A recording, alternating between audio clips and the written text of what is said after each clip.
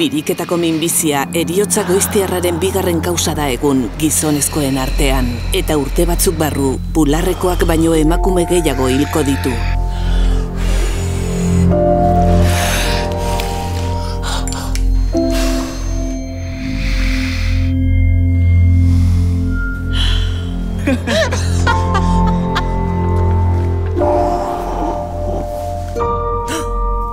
Borrokan ari direnentzako arnasa. Ikerketarako oksigenoa. Airea biriketako minbiziaren aurka. Abenduak amairu. EITB maratoia. Egin zure ekarpena.